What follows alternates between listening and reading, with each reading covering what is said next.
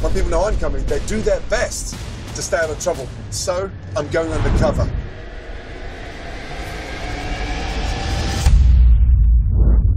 Let's get the puck out of here. And menu, look at the size of this. It's huge. I have to go for the goon burger. Ooh, Yep. never sold that before. They've never sold a goon burger before. Yeah, I found that interesting. kind of confidence that can give you as a customer. Yeah. Yeah. Blackened scallops. Is this a joke?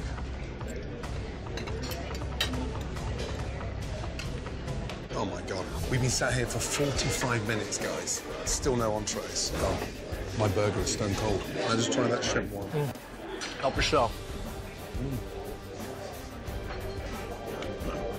Don't eat too much of those shrimp, please. They taste sour. Bloody hell. There's nothing fresh here. 90% of what we're eating is frozen. I'll be back in a minute. All right. Please don't eat too much. Ladies and gentlemen, sorry. Joe, chef, I feel like I'm having a heart attack. please make your way down. I can't believe what we've just witnessed.